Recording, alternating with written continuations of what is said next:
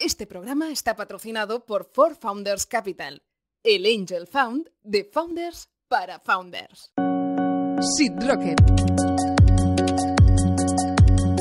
El podcast de profesionales para profesionales.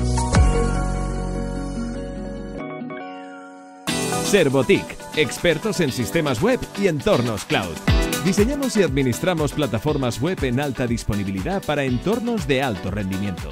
Desplegamos y gestionamos infraestructuras como servicio de forma ágil y sencilla. Nuestra gestión integral de proyectos te permitirá escalar rápidamente dimensionando los recursos e incrementando la productividad de tu negocio. Queremos formar parte de tu equipo de IT. Cuéntanos tu proyecto.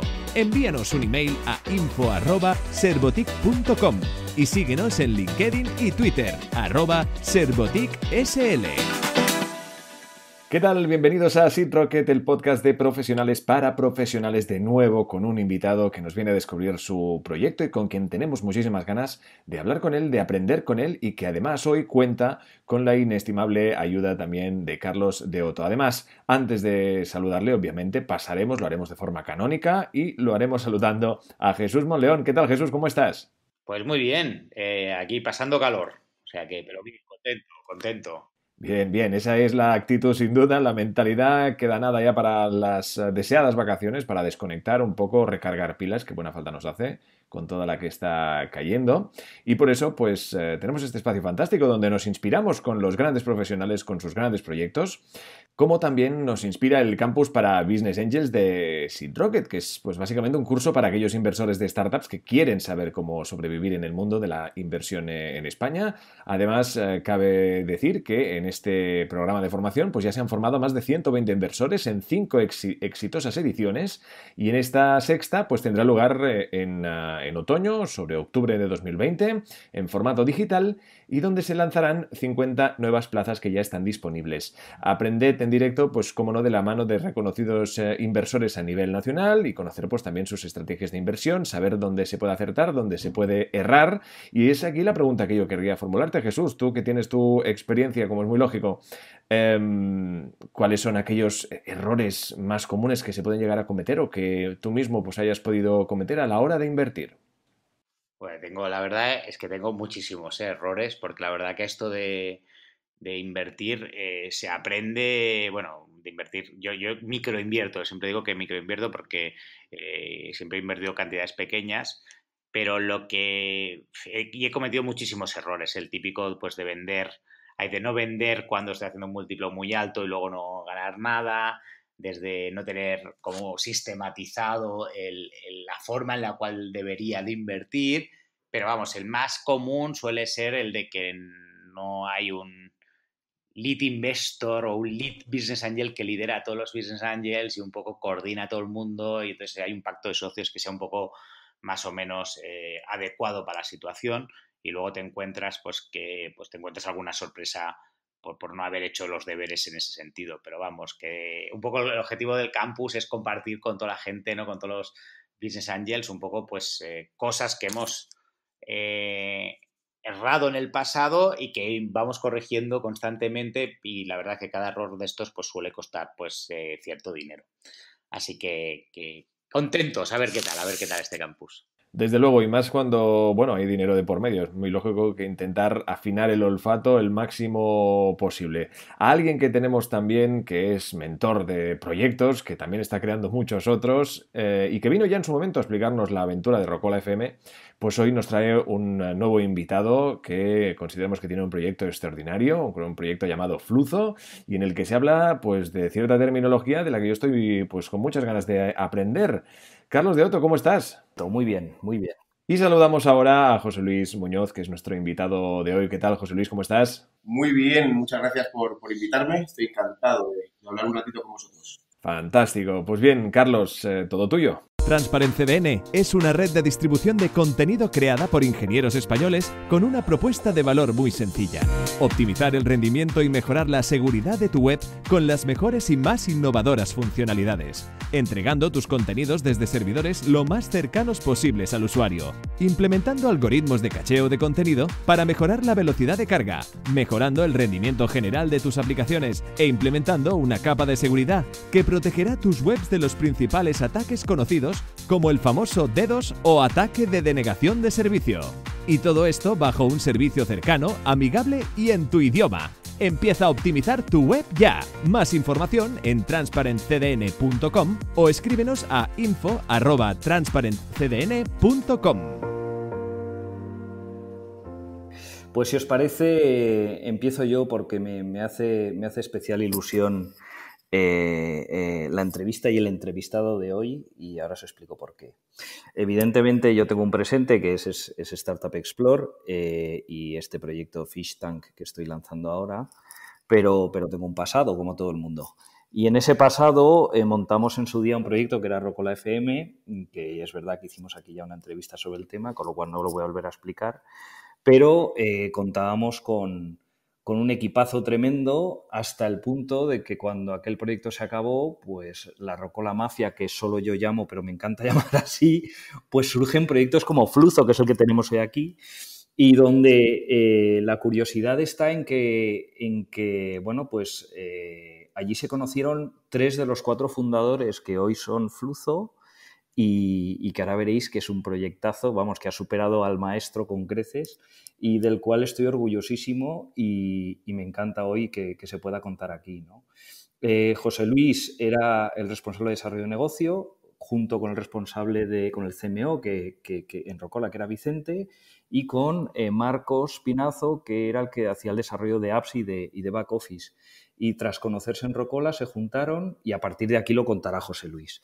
Pero vamos, eh, fascinante cómo han llegado hasta donde han llegado y, muy, muy interesante. José Luis, si te parece, eh, bueno, cuéntalo como quieras, yo te he puesto ahí el, la semilla para que cojas desde ese punto, pero cógelo desde donde tú quieras y nos cuentas, nos cuentas qué es Fluzo, si te parece primero, para un poco sentar la base y nos cuentas cómo, cómo empezáis, cómo llegáis a esto, y demás.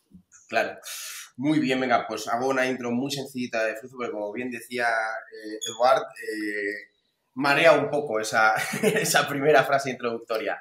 A ver, mira, fundamentalmente lo que, lo que hacemos desde Fluzo es buscar que la medición de contenido y publicidad eh, se actualice y, y, se haga en relación a cómo, a cómo se consume fundamentalmente. A día de hoy, eh, bueno, pues hay una serie de problemas en el mundo de la medición de medios y en el mundo de la medición publicitaria que no permiten, bueno, pues que mm, campañas, por ejemplo, publicitarias, ¿no? Que, suceden en diferentes plataformas, por ejemplo, televisión, radio, eh, digital, en vídeo online, radio online, en fin, cada vez está más diferida, ¿no? Ese lanzamiento de publicidad y esa distribución de publicidad, las, las planificaciones de medios son súper sofisticadas y resulta que todo ese ejercicio de sofisticación que se genera para la producción de la campaña y para la distribución de la campaña, pues luego no se puede medir de una manera solvente y de una manera robusta, ¿no? Entonces, bueno, pues Fluzo fundamentalmente, ¿no? Y en palabras un poquito más profanas, se dedica a resolver este, ese asunto. ¿Cómo lo resolvemos? Pues mira, muy sencillo. Tradicionalmente el mercado mide cada medio de diferente manera. Pues, por ejemplo, la televisión se mide eh, a través de los famosos audímetros, ¿no? Que hay una muestra eh, que es representativa y estadística de, la, sociedad española y que permite saber más o menos cómo se está consumiendo la televisión y eso está muy bien, pero claro, hay muchos huecos, por ejemplo, pues se mide la televisión principal del hogar, no se mide el consumo out of home que llaman, ¿no? El consumo fuera del hogar, no se, no por supuesto no se mide eh, todo el consumo que hacemos de plataformas OTTs, cuando te vas de vacaciones no se mide, cuando te vas al bar a ver un partido de fútbol tampoco se mide. En definitiva, eh, bueno, pues mucho del contexto de consumo audiovisual que se hace y que hacemos los, usuarios no se está midiendo. La radio, sin embargo, tiene otra tipología y otra metodología de medición completamente diferente. Se mide a través de eh, tres encuestas anuales que, bueno, que van rotando, etcétera, etcétera.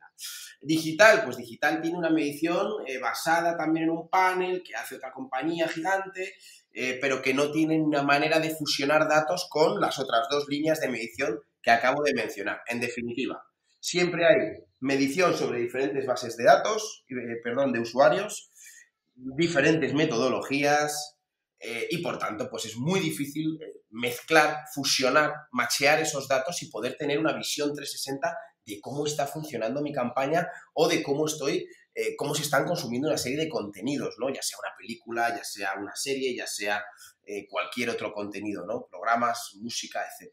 Entonces, ¿nosotros qué hacemos? Pues mira, muy sencillo. Nosotros, a través de una tecnología de reconocimiento de audio, como la que siempre ponemos el ejemplo porque creo que es el más, el más notorio, ¿no? Pues la tecnología, por ejemplo, que utiliza Shazam para, para identificar el contenido musical que estás escuchando, pues nosotros la hemos adaptado, eh, hemos desarrollado. Una, versión propietaria capaz y especializada de identificar contenidos eh, de, otra, tipología. Pues publicidad, contenido puro, etcétera. ¿Cómo distribuimos esta tecnología para poder identificar? Pues también a través de los principales paneles, tanto eh, en España como fuera de España, llegamos a acuerdos con, los principales paneles que integran nuestra tecnología para poder medir sobre un grupo de usuarios de control y representativo también del lugar geográficamente donde estamos operando, eh, bueno, pues poder medir todo el contenido, las campañas, etc. Entonces, ¿qué tenemos y cómo somos capaces de resolver este asunto? Pues muy fácil muy fácil y muy difícil al mismo tiempo. Tecnológicamente muy complejo, pero sin embargo, eh, operativamente muy sencillo. Fundamentalmente, sobre el mismo grupo de usuarios, lo que llamamos un sistema de medición cross-media, porque medimos muchos medios single source, es decir, sobre la misma fuente de datos, sobre la misma fuente generadora de datos, que son los mismos usuarios, medimos todos los medios. Televisión, radio, eh, digital, video online, radio online, eh, display, etc. De manera que somos capaces de eh, generar información de toda la campaña o del consumo de un contenido que sucede en diferentes plataformas o donde, o donde suceda, nos da igual. En lugar de utilizar audímetros que están basados en un dispositivo en particular, en la tele principal del hogar, en la tele del salón o donde sea, eh, nuestro dispositivo medidor, nuestro audímetro, es el móvil, va con el usuario, no es lo que llaman eh, ahora el Real People Meter, ¿no?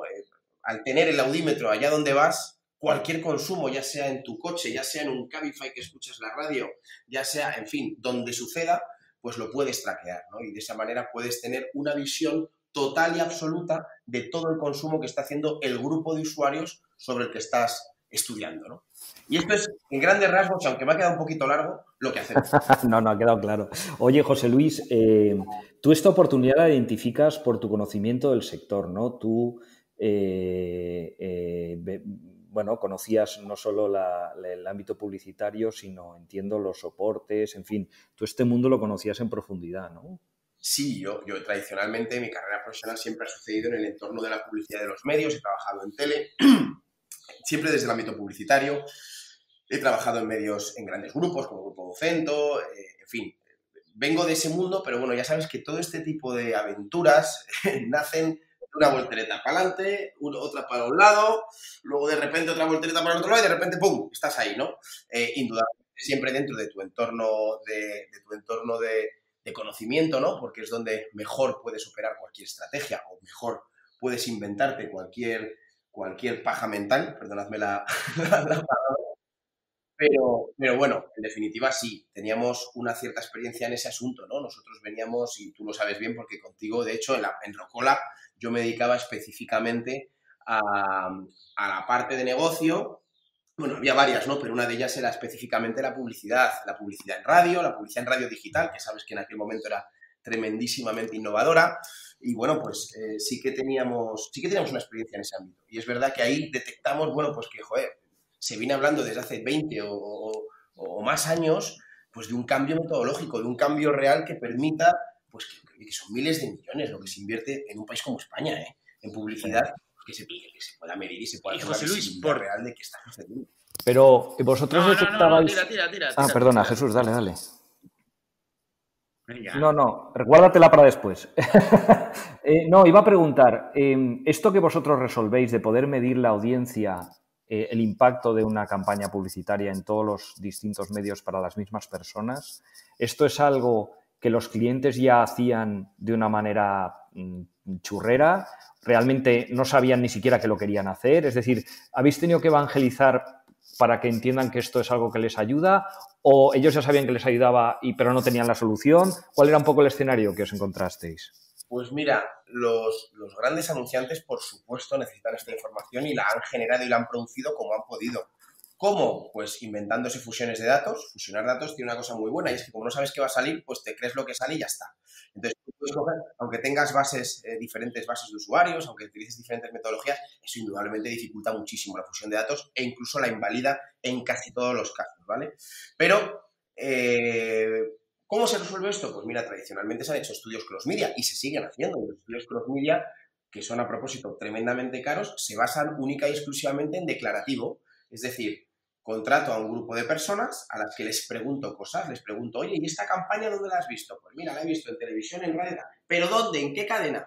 ¿Qué ocurre? Pues que el gap indudablemente declarado es muy grande, porque tú tienes, eh, tú, tienes la memoria que tienes, y de una campaña que ha sucedido hace un mes y medio, pues hombre, de ahí a poder generar un customer journey medianamente real, ¿no? De que, pues mira, fui impactado tres veces en esta web a través de un banner, dos por radio, cinco en tele, en estas cadenas y en estas franjas es muy difícil, eso no se puede reproducir, pero sí que te permite, bueno, pues tener una aproximación realista a lo que sucede. ¿Dónde está el cambio fundamental? Que nosotros no es información declarada, es información observacional, observada. La tecnología traquea el consumo real, de manera que no tenemos ninguna duda. Componemos todos los contactos que ha tenido el usuario con la campaña en el medio que haya sido, eh, con absoluta veracidad, por supuesto. Mm. Sí, eh, entiendo que tecnológicamente hablando lo complicado no es tanto traquear, es decir, el, escuchar lo que se está consumiendo, o mejor dicho, no sé, si es complicado o no, pero entiendo que el valor reside en el análisis posterior, ¿no? Por supuesto, al final pensad, y esto lo, lo conocéis vosotros mejor que nadie, que sois grandes creadores de compañías y de productos, que la productivización sobre la tecnología es la clave de todo siempre. Eh, nosotros tenemos una base tecnológica que cuando eres una empresa muy, muy chiquitita, muy chiquitita, tu principal valor y todo lo que tú valoras sobre tu compañía es que, es que tengo un algoritmo de reconocimiento de audio que es la leche. Genial, está muy bien, pero la capa de productivización por encima de, ese, de esa solución tecnológica es la que ha llevado a que tengamos un producto solvente. Eh, la tecnología por sí misma eh, no es configurable, no es utilizable, no es, no es escalable, en nuestro caso al menos, ¿eh? habrá otros casos en los que la tecnología se basta y se sobra para dar una solución válida al mercado, pero en nuestro mercado no, nuestro, nuestro mercado no es un mercado tecnológico, nuestros clientes no son tecnólogos, son, son compañías de investigación de mercado monstruosas, algunas de ellas, son anunciantes, son grandes medios y esta gente no está para desarrollar capas de valor sobre nuestra tecnología, está para eh, que nosotros les produzcamos datos eh, y trabajar sobre esos datos, de, bueno, pues, que es donde ellos son expertos. ¿no? Entonces, toda la capa que sucede entre que tienes una tecnología y conviertes y generas un sistema de medición, eh, bueno, pues que, pueda ser certificado, ¿no? Y que sea, y, que sea solvente. Y, una pregunta, el usuario tiene que llevar, eh, porque tú dices, oye, mm, básicamente todos esos audios los los escuchas en el, los escuchas a través del móvil de los usuarios. Los usuarios tienen que tener descargada tu aplicación, eh, los remuneras de alguna forma o, cómo haces eso para, escuchar los, audios. Buenísima pregunta, porque es la clave de todo. es la clave de todo. La distribución de la tecnología ¿no? en una aplicación es la clave de todo el asunto. Nosotros llegamos a acuerdos con los principales paneles, como decía, paneles de investigación, paneles digitales y que tengan una aplicación móvil para ese panelista, donde va integrada nuestra tecnología y otras tecnologías. Por ejemplo, también hay tecnologías de behavioral que lo que dan es todo el comportamiento digital y que se machea esa información con la que generamos nosotros. Por ejemplo, dónde navega el usuario, qué búsquedas hace, etcétera, etcétera, ¿no? qué aplicaciones utiliza y durante cuánto tiempo. Estos panelistas son personas eh, que acceden indudablemente a que tengamos acceso, visibilidad a su navegación, a su, a su, consumo audiovisual, etcétera, eh, por supuesto, siendo remunerados. Ellos eh, al final forman parte, están en un entorno seguro, por supuesto, donde única y exclusivamente la información que nosotros generamos y producimos de su consumo se utiliza para la investigación y para nada más. No se les puede impactar, no se puede utilizar esta información para generar campañas sobre este grupo de panelistas, ni mucho menos, ni nada por el estilo. Es el entorno más privado y más seguro en el que premiamos a un grupo de usuarios que nos ceden sus datos para poder tener inteligencia. ¿Y, esto lo haces solo en España o lo haces internacionalmente? No, no, no, esto, bueno, eh, inicialmente, por supuesto, pues había que ver que esto llegaba a algún lado y, por supuesto, España pues, fue, una, fue la parte fundamental de, de, nuestro mercado. Ahora no, ahora estamos en Latinoamérica, en los, principales países de Cono Sur, eh, estamos empezando a abrir eh, los primeros países en Europa, Parece que el primero va a ser Italia, parece que el segundo puede ser UK. Eh, estamos trabajando y queremos trabajar de manera internacional porque al final el modelo es el mismo y una cosa muy interesante, que esto, bueno, vosotros también lo sabéis porque muchos de vosotros habéis hecho inversiones publicitarias, ¿no? Para poder llegar a vuestras empresas donde, donde han llegado. Eh, es que el mercado publicitario tiene una cosa muy buena y es que es muy transversal a todo el mundo. Los mismos problemas que hay en España, pues pasan, suceden en Kosovo, en Albania, en Estados Unidos en Perú y en Canadá. O sea, es increíble que países de muy diferente dimensión, indudablemente los problemas se asocian ¿no? a la dimensión, pero el, entorno, digamos, de sofisticación de ese mercado a nivel medición, a nivel investigación, es el mismo en todos ellos. Entonces, la solución es súper horizontal a todos los países y al final lo que necesitamos es un partner eh, panel, un, panel partner con el que eh, distribuimos nuestra tecnología para poder producir esta información y ofrecerla al mercado en conjunto. ¿Quieres decir que la comercialización es a través del panel o, es directa con el cliente? Pues mira, depende, depende, depende. Nosotros, como sabes, somos unas eh, máquinas comercializadoras porque nos gusta, además. Y, aquí en España, por ejemplo, sí que llevamos la batuta.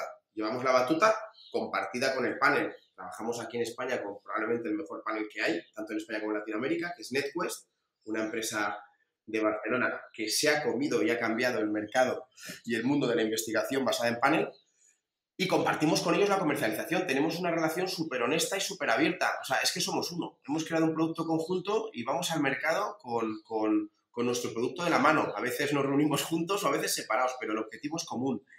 En otras geografías donde, donde lanzamos el producto, la idea es precisamente que esta comercialización sea diferente, sea un poquito diferente. Mira, nosotros tenemos un entorno muy particular. Al final es el anunciante el que normalmente compra a los institutos de investigación, a los, por poner algún nombre que os suene, Nielsen, Ipsos, Kantar, etcétera, ¿no? Eh, la producción de datos, ¿no? Para poder generar y tener información e inteligencia sobre qué sucede. Entonces, nosotros lo que, lo que hacemos es que generamos el, eh, producimos la información, el panel suele tener ya un entorno cómodo en ese mercado, porque, como os decía, Trabajamos con paneles líderes que ya tienen una cuota de mercado muy, muy grande y muy importante en los países donde operamos. Entonces, a priori la comercialización no es uno de nuestros grandes problemas. Eh, el mayor problema es convencer a, un, cliente pues de que antes hacía una cosa o que lleva produciendo una serie de datos, aunque sean peores durante, durante 10 años o durante 15 años, que renuncia a su histórico de datos y empieza a generar mejores datos, pero diferentes, ¿no? Con el vértigo que eso les da a algunos anunciantes, a algunas agencias, eh, bueno, pues porque ya sabes, ¿no? Siempre hay un status quo en el que dices, oye, oye, ¿y si ahora, en el momento en el que tengo una imagen o una foto un poquito más real, es algo más feo? Entonces, bueno, ante ese concepto sí que, el panel actúa como, el panel actúa como distribuidor de alguna Lo que es la comercialización. pero tú eh, eh, en, el, en el fondo tienes que seguir atacando a marcas y agencias para que hagan el push, pero el, digamos te hace un poco el, el, panel. Oye, explícanos un poco cómo ha sido la evolución, porque yo me acuerdo hace un montón de años de hablar contigo y, y, estás pensando que si hacer algo con la televisión, o sea, explícanos cómo ha sido esa hasta, hasta encontrar, digamos, eh, la forma de comercializar y que esto pues empezara a crecer de forma significativa ¿Cómo, han sido, cuáles han sido los aprendizajes que has tenido ahí en esa, en esa línea de encontrar, digamos, el product market fit para, eh, a, nivel de que funcionase? Sí. Pues mira, Jesús, yo de lo primero que me di cuenta es de que todos hablamos de pivotar y, oye, bueno, pues si esto no funciona, pivoto. Pivotar yo creo que es de las cosas más difíciles, arriesgadas y que creo que nadie, casi, o muy poquita gente es capaz de hacer porque da muchísimo vértigo. Y nosotros, por ejemplo, que nos hemos tenido que ver ante ese pivote, eh, yo creo que es el punto, el punto disruptivo real de la compañía, ¿no? El momento en el que dices, oye, mira, es que estoy apostando por una cosa que me creía a pies juntillas y que me estoy empezando a dejar de creer. Y esto, eh, pues es un punto, como, como, imaginaréis, ¿no? Y algunos lo mismo habéis visto en él, eh, de un vértigo enorme, ¿no? Entonces, eh, pues en nuestro caso fue una cosa parecida. En nuestro caso apostamos por, teníamos una tecnología que integrábamos igualmente en aplicaciones, aplicaciones de nuestros clientes, pues imagínate una gran productora, ¿no? una, gran, una gran distribuidora de contenido. Y generábamos experiencias second screen y hacíamos una serie de cosas. bueno, tuvo su momento, eh, conseguimos clientes muy representativos y muy grandes, nos dieron un empujón enorme y nos han pagado, gracias a Dios, el, primer desarrollo ¿no? y la primera capa de productivización sobre nuestra tecnología. Pero llegó un momento en el que descubrimos dos cosas. La primera es que al estar conectados al consumo del usuario de un contenido, teníamos una información valiosísima del consumo que estaba haciendo ese usuario. Y la segunda que nos dimos cuenta es que la interacción con los contenidos por parte del usuario no tenía por qué suceder en el lado del distribuidor. Podía suceder en Twitter, podía suceder en plataformas de terceros que nada tenían que ver con el distribuidor, ¿no?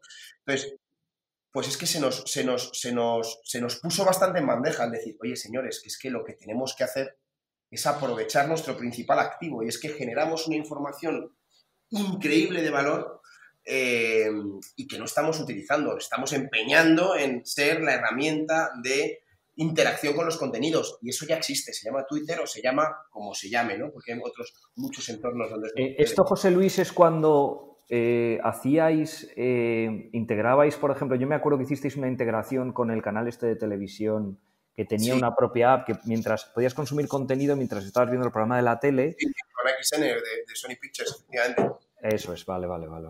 Sí, sí, sí, sí. Claro, pues, pues, pues, lo dicho, pues ahí de repente dices, oye, que tengo un segundo a segundo de cómo este, cómo este grupo de usuarios está consumiendo un grupo de series y estábamos generando, imagínate, una información de consumo on demand hace un montón de años cuando el on demand, oye, el on demand no existe. El on demand no existe porque no se puede medir, no existe.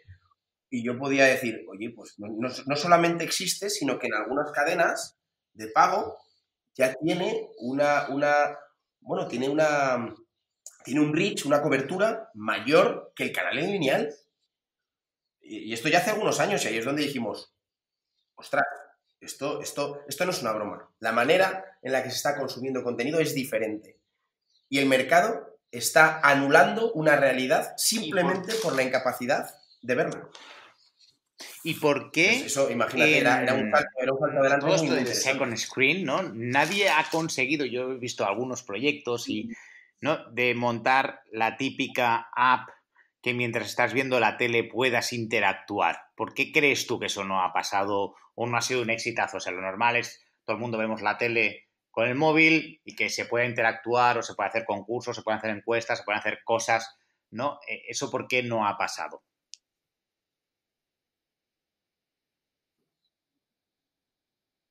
Pues mira, ha habido algún proyecto exitoso. ¿eh? Nosotros hemos tenido algún proyecto que ha tenido mucha relevancia. Este que, comentaba Carlos de XN. En México, por ejemplo, teníamos proyectos y sí que es verdad que hubo un efecto second screen mucho más eh, acentuado que en otros países, por ejemplo en Europa.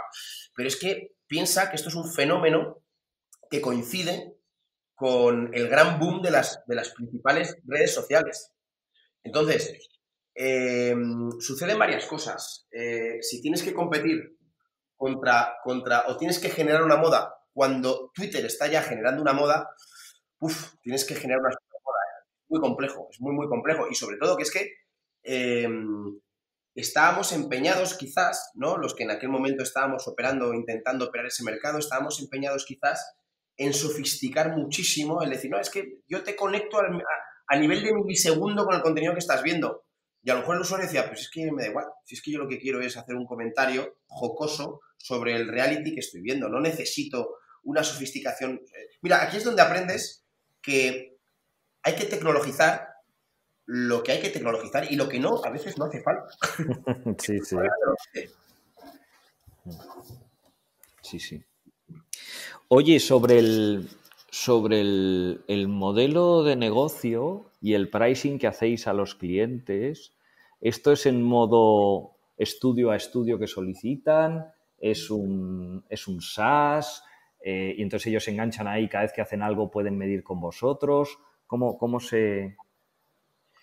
Pues mira, hay diferentes, hay, hay, dos líneas fundamentales. Tenemos tres líneas realmente. Una, una inicial, que indudablemente todo esto parte de un piloto. Piensa que al, generar un nuevo tipo de datos o una nueva, un nuevo dataset sobre consumo de contenido o sobre eh, impacto publicitario, lo primero que tiene que ver quien lo va a consumir, ya sea el anunciante, su agencia de medios o su agencia de research, eh, es, tocarlo, palparlo, jugarlo y, ver que realmente, oye, pues es que es, la noche y el día con lo que tenía anteriormente, me merece la pena anunciar a mi histórico y empezar a generar un histórico nuevo, ¿no?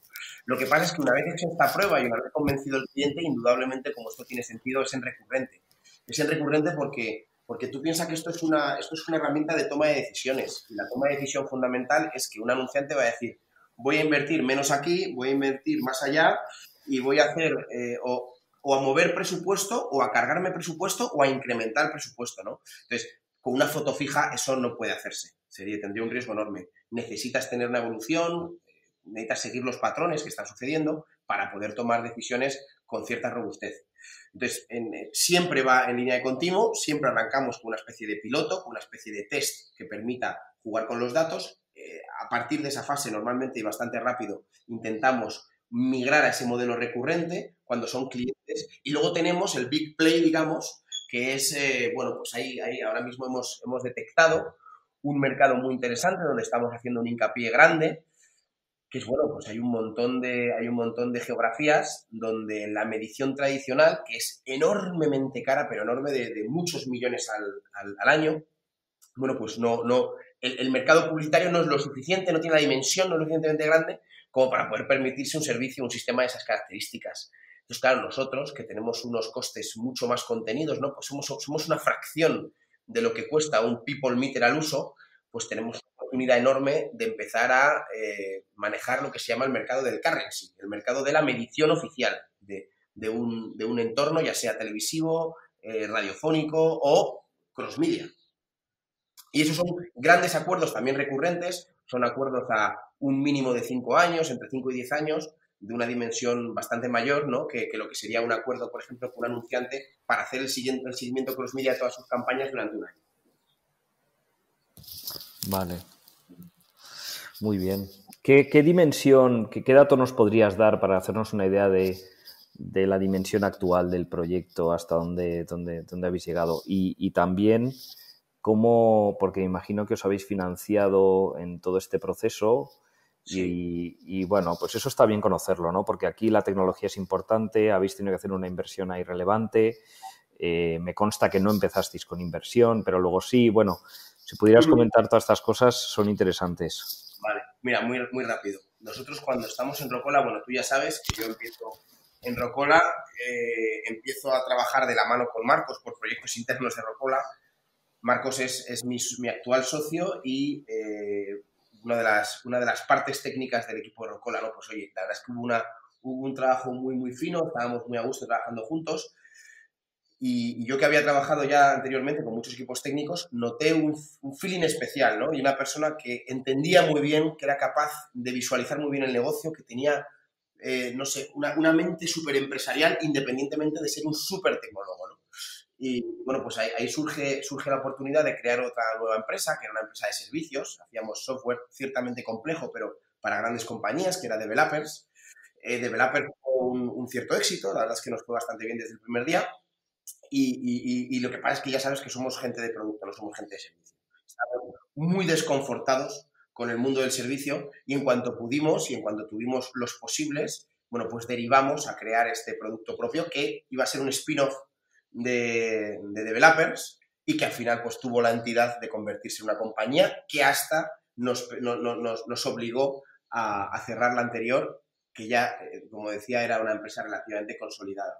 Entonces, bueno, la primera parte y la primera etapa de Fluzo viene financiada precisamente por developers, por nuestra anterior compañía. Y esto pues, nos permite crear pues casi el total de la tecnología, de la primera etapa de la tecnología. Ya sabéis que este tipo de tecnologías tienen un crecimiento constante, ¿no? Nunca has terminado de generarla, ¿no? Y además, en nuestro caso, nos encuadramos un poquito en el entorno este del que dicen ahora Deep Tech, ¿no? Donde la tecnología necesita eh, constantemente eh, necesita constantemente variar y, mejorar aunque solo sea para mejorar el balance, aunque solo sea para gastar menos, ¿no?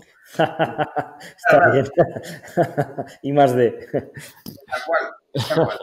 Bueno, eh, cubrimos la primera etapa con esta financiación propia derivada de nuestra anterior compañía. Eh, pero bueno, ya llega un punto en el que... Y, conseguimos los primeros clientes, primeros clientes que hacen que nos creamos esto, ¿no? Y que, podamos partir a, decir, bueno, señores, esto tiene, requiere una apuesta. Igual que Developers, indudablemente, pues una compañía de servicios nunca había precisado ningún tipo de inversión. Si aquí queríamos crear algo, algo digno, sí que necesitábamos eh, una ayuda externa, ¿no? Y como alguna vez he escuchado por ahí, eh, en esos momentos ir a un banco, tienes las mismas oportunidades de conseguir dinero en un banco que entrando a una farmacia, ¿no? aproximadamente. bueno, pues no nos quedó más remedio que buscar esa, esa, solución de financiación en el entorno privado. Y ahí, bueno, pues teníamos la suerte de tener un network propio que, que apostó desde el primer momento por nosotros, network propio que no son inversores profesionales, ¿no? que son más business angels quizás, pero que, bueno, pues dieron, dieron pie a, los primeros pasos serios del producto, que, que pudiéramos centrarnos 100% en este proyecto y, hacerlo crecer. Hasta que llegó un momento en el que, bueno, pues decidimos dar un pasito más. Decidimos dar un pasito más. Nos gustaba mucho cómo, cómo invertía y cómo hacía las cosas eh, Adara Ventures, un fondo que, bueno, que en España tiene cierta relevancia. Y, bueno, pues nos acercamos a ellos con muchísima humildad porque éramos todavía una empresa muy pequeña y éramos conscientes de que ellos no invertían en, empresas tan chiquititas, pero tuvimos la suerte de que, bueno, pues nos caímos en gracia, ambos. A nosotros ellos ya nos caían en gracia y nosotros a partir de ese momento les empezamos a caer en gracia a ellos.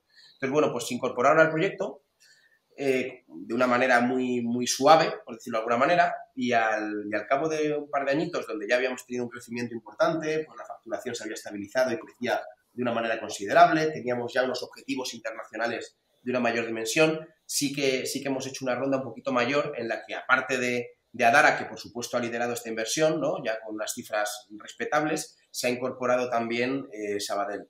Venture Capital, ¿no? Y, la verdad es que estamos en esa fase, estamos ahora en esa fase de, crecer, de, empezar a, testar mercados geográficamente diferentes eh, y, ver que el producto pues tiene esa escalabilidad que nosotros venimos buscando y en la que confiamos porque, porque de alguna manera, ¿no? aunque sea solo en España, eh, lo hemos validado. ¿En cuántos países estáis y qué, representa de la facturación total ahora mismo? Y, ahora todavía muy poquito. ¿Y cómo, cómo, cómo, lo habéis enfocado la internacionalización? O sea, ¿lo hacéis desde eh, Madrid eh, y viajáis a otros países o mm, tenéis equipo local en cada país o explícanos un poquito ahí cuáles, cuáles están siendo vuestras experiencias para cualquiera que quiera montar eh, también internacionalmente algo.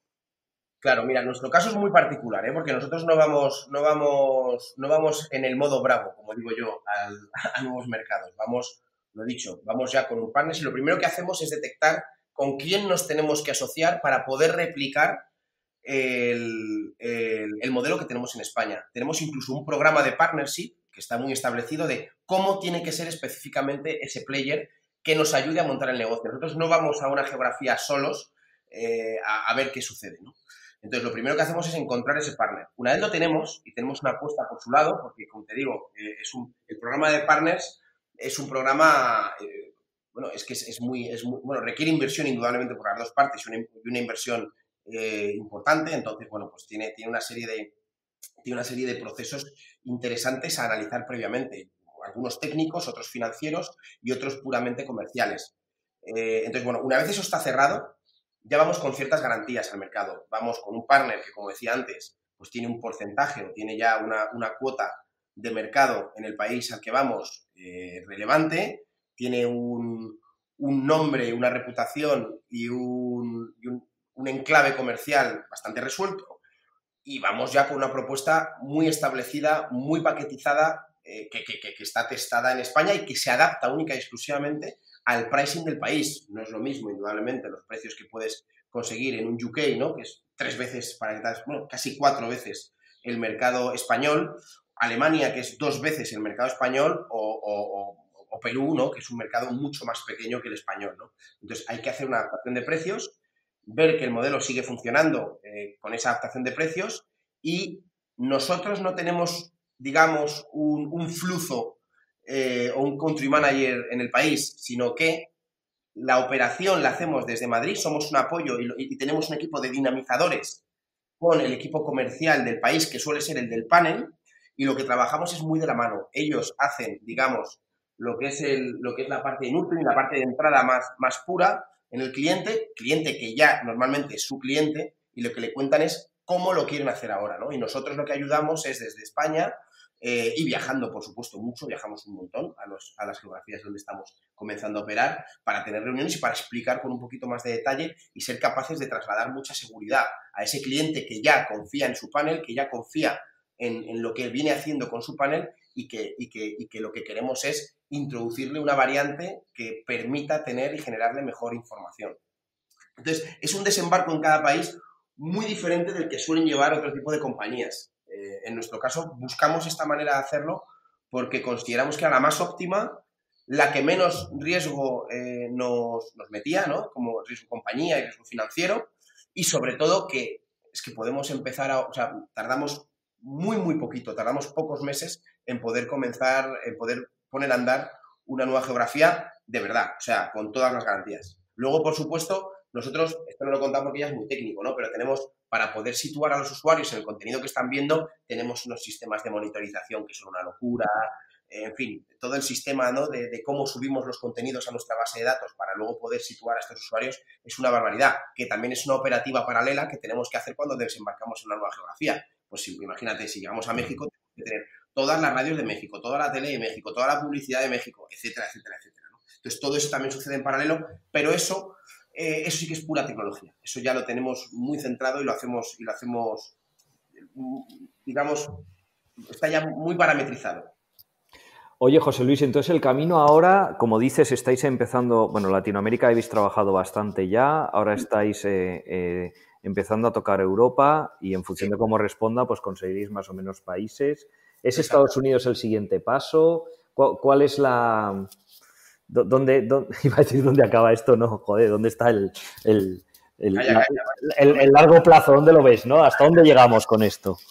Pues mira, eh, a ver, indudablemente la, lo que tenemos que ver y lo que tenemos que validar es que todos los países que nosotros damos por hecho que tienen la capacidad de comprar un producto como el que nosotros vendemos, efectivamente lo compran. Suena muy básico y muy tontorrón, pero es que hay que, hay que validarlo, ¿no? Y, y, sí que es cierto que nos encontraremos con países que consideramos serían cautivos y nos sorprenderán por alguna razón, ¿no? Porque su status quo es diferente, porque, en fin, supongo que tendremos sorpresas. La verdad es que en, Latinoamérica las sorpresas han sido positivas y también es que yo siempre recuerdo una cosa, en España tanto la, la investigación como el mercado publicitario es muy duro, es muy, muy duro, es un mercado súper duro. Si en España tienes una solución que tiene cierto éxito, fuera de España lo más normal repito, con alguna salvedad que estará por descubrir, te va a ir relativamente bien. Entonces, bueno, tenemos un buen entorno de pruebas. España es un, es un buen mercado para partirse el lomo y luego ir a otros mercados a intentar hacerlo mismo. ¿Por qué dices que es duro el mercado español? Eh, ¿Es un tema de tamaño? ¿Es... es, un tema, es un tema de que es un mercado que ha sido muy movilista. Es un mercado que ha querido agarrarse a su manera de hacer las cosas como, como pocos mercados lo han hecho. Entonces, ha hecho que las nuevas soluciones que entramos, ya sea para la distribución publicitaria, para la medición, los DMP, los todo el mercado publicitario haya tenido muchas más dificultades que en otras geografías donde se ha apostado por esa, eh, bueno, pues por esas nuevas metodologías y por, y por esa evolución natural del mercado. Al final entra y al final el mercado, oye, el, cliente es el soberano, ¿no? Y el cliente lo que quiere es lo mejor para sus campañas o en el mundo de, la, de, los contenidos ¿no? y, de la, y de la distribución de contenidos, lo que, lo que quieren los grandes medios es que sus contenidos lleguen y por tanto se tienen que adaptar al consumo que se está haciendo y ya está. Pero cuesta más, cuesta más, cuesta más y yo creo que además esto es una, desde mi punto de vista, yo creo que todos los que hemos trabajado este tipo de mercados estamos bastante de acuerdo en eso, que no, no es un mercado fácil. Hay mercados más fáciles. Pero bueno, volviendo un poco y recuperando tu pregunta, yo diría que, eh, bueno, lo dicho, testar estos nuevos mercados, ver que todo funciona. Y hablabas del mercado americano. Mira, antes te daba, te daba algunos múltiplos, ¿no? Pues eso, oye, mira, UK es por 4 España, Francia es por 1,5 España, Alemania es por 2 España. eh, pues Estados Unidos es por 10 España. Nosotros, cuando, como no sabíamos todo, joder, supongo que les pasará a muchos, a muchos empresarios cuando intentan ir a, contar a un inversor la, la, historia, ¿no? Nosotros no sabíamos cómo dimensionar un país, cómo dimensionar el tamaño real del mercado, ¿no? Entonces, lo que hicimos fue la unidad mínima es España. Y lo medíamos todo en España. Por eso me lo sé, me sé todos los mercados en España. 0,25 Españas, esto es para tener una referencia, ¿no? Por eso siempre hablo en, esa unidad. Eh, entonces, bueno, pues imagínate, un mercado como el americano, que son 10 veces el mercado español a nivel publicitario, es una barbaridad. ¿Problema? Bueno, pues como todo, ¿no? Eh, está, está, es súper disperso, eh, es enorme, tiene, está súper, súper competido, es el mercado más sofisticado, es ese mercado en el que la nueva tecnología en el mercado publicitario sí que ha entrado antes. Igual que tienen sistemas y problemas de medición bastante similares, por contra, en el entorno de la distribución han estado mucho más sofisticados mucho antes. Entonces, bueno, es un mercado muy, muy competido, un mercado muy complejo. Entonces, nosotros lo que buscamos, o es nuestra estrategia, a lo mejor errónea, y ya sabéis que además estas estrategias, eh, para bien o para mal, se tienen que cambiar constantemente. Entonces, si habláramos dentro de ocho meses, lo mismo os contaba otra película diferente. A día de hoy, mi película dice que, mm, que vamos a intentar en mercados europeos, grandes y pequeños, porque tenemos que testar ambos. Vamos a, buscar tener un entorno cómodo en Latinoamérica, donde entramos con mucha solvencia. Eh, y cuando tengamos ya una cierta estabilidad, eh, tú piensas que tenemos muchos clientes internacionales que operan en todos los mercados. Yo creo que serán ellos mismos los que de manera natural nos pidan y nos faciliten la entrada en un mercado tan competido. No es lo mismo, imaginémonos que trabajáramos para un Procter Gamble que tiene campañas en todos los sitios del mundo. Quizá ellos, que basarán parte de su estrategia en, nuestra, en, nuestra, en nuestros datos, llegará un día en que nos digan, oye, no, no, es que necesito que me hagas Estados Unidos. Entonces, entraremos de otra manera. Entraremos pues con una, con una bueno, pues con, como, como, gusta hacer estas cosas, ¿no? Con clientes. sí, no, que a lo mejor un cliente grande europeo os lleve a Estados Unidos, ¿no? A lo mejor es. claro, al final los grandes anunciantes están en todos los sitios y, y, necesitan estrategias que cubran sus principales mercados. Ellos son quienes te piden este tipo de cosas. Y de hecho, Europa lo hemos priorizado, algunos países de Europa, porque nos lo han pedido clientes. Nuestros clientes dicen, oye, mira, es que yo puedo llegar más lejos contigo, me interesa mucho México, me interesa mucho Colombia, me interesa mucho Argentina, pero es que también me interesa mucho Alemania y me interesa mucho UK. Necesito que estés ahí, porque yo no, no puedo hacer una cosa que sea solamente España y Latinoamérica. Necesito hacer algo que sea un poquito más complejo. Entonces, al final es, es, una evolución muy natural porque son nuestros clientes quienes nos reclaman este tipo de servicio.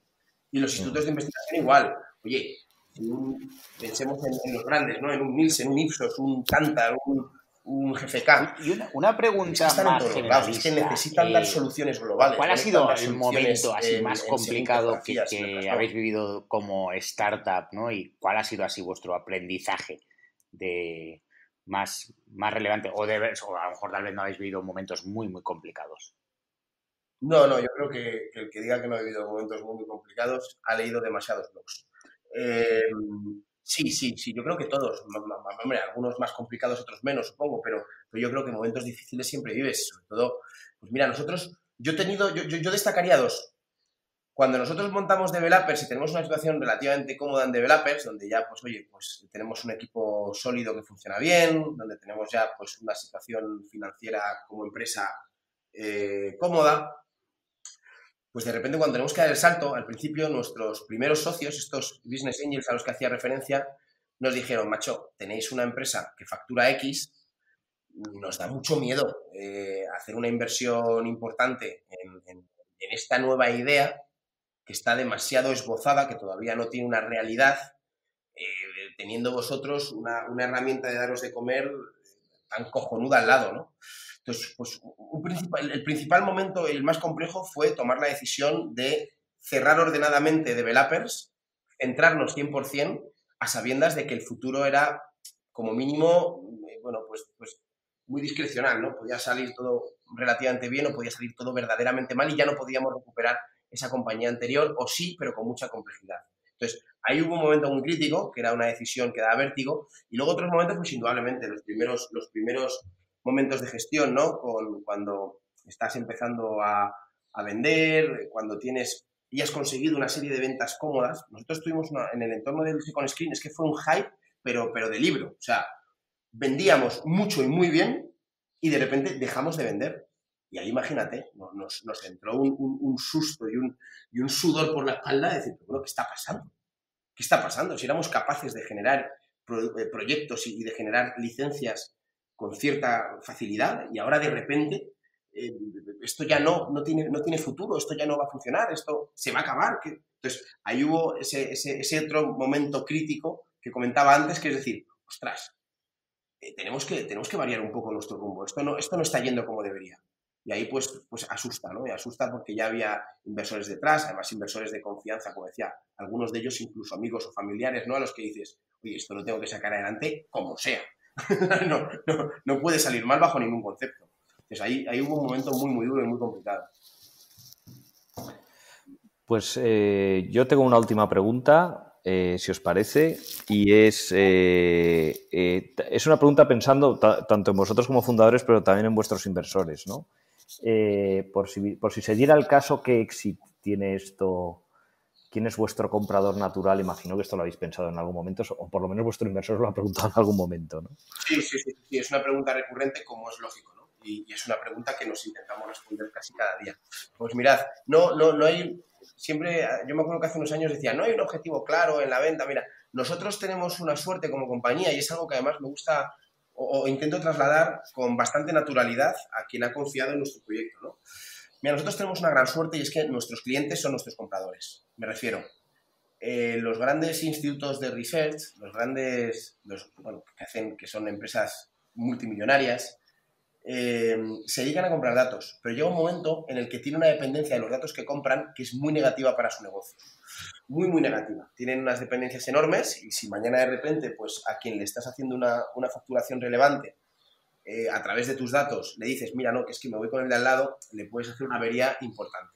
Entonces, normalmente tenemos, y desde el principio de la compañía, estamos trabajando con compañías que son susceptibles compradoras de, de, una tecnología como la nuestra porque quieran incorporarla a su portfolio de servicios y sobre todo porque quieran proteger su posición frente a terceros. Entonces, eh, porque como digo, es un mercado súper, súper competido. Entonces, eh, y ahora trabajamos para todos, indudablemente. Entonces, yo, creo que ese es el, éxito más plausible, ¿no? y, yo creo que es la jugada. Lo que pasa es que, por supuesto, no es ni mucho menos a corto plazo. Hemos tenido alguna conversación que, que no ha derivado en más que eso, ¿no? en una conversación de, de, interés y que nos motiva muchísimo, pero que, pero que no es el momento ni, creemos que lo sea. Ha quedado clarísimo. Bueno, José Luis, enhorabuena. Eh, ya lo he dicho al principio y me gusta terminar como he empezado. Eh, da gusto, da gusto veros y, y, pedazo de proyectazo estáis sacando adelante. Eh, y Eduard, lo que tú dispongas. Be Startup, el servicio para jóvenes empresas innovadoras y tecnológicas del Banco Sabadell con Rocket Startup School. Y hasta aquí Rocket Startup School, el podcast de profesionales para profesionales. Ya sabéis que nos podéis seguir en todas las plataformas de podcast, en Spreaker y en Evox. También nos podéis escuchar a través de Google y Apple Podcast, en Spotify Podcast y en básicamente todas las plataformas. Ahí estamos presentes para todos vosotros, para acompañaros en todos esos momentos en los que es necesario un buen consejo, el inspirarse con estos grandes proyectos que llevamos a cabo y que también explicamos dentro de Seed Rocket. Ya sabéis que además recordaros que el campus de mentores de Seed Rocket encontráis toda la información en seedrocket.com. Gracias a todos, esto es Seed Rocket Startup School.